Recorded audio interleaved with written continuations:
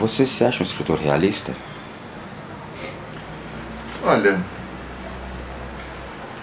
eu acho que o meu trabalho ele tenta entender ou testar quais são os limites do realismo.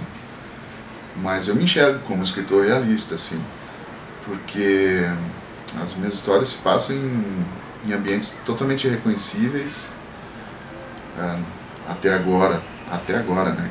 Nada me proíbe, do contrário, mas elas passam todas no planeta Terra, em lugares, em cidades e, e cenários comuns, né?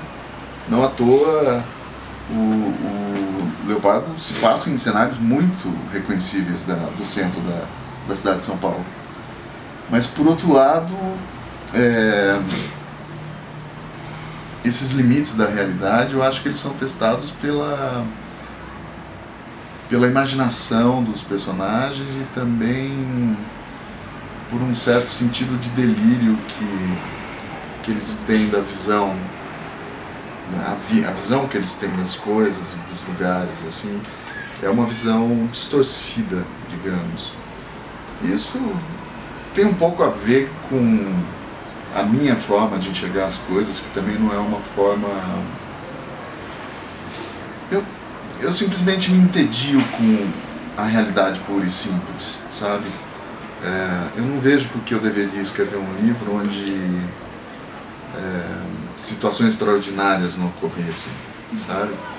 É, aliás, eu me pergunto bastante por que, que alguém se senta para escrever um romance onde situações aporrinhadores do dia a dia ocupam todo o espaço da ficção.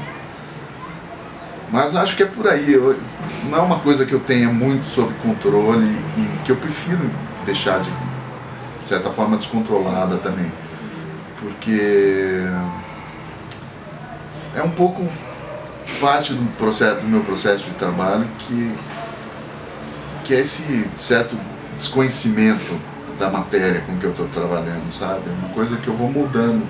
É mais parecido com um trabalho de escultura, de se esculpir uma, uma pedra bruta, do que propriamente é, havia uma exatidão, uma precisão anterior ao texto.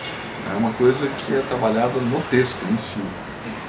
Mas é um cuidado que eu gosto de ter, esse de testar os limites do que se considera realista ou não.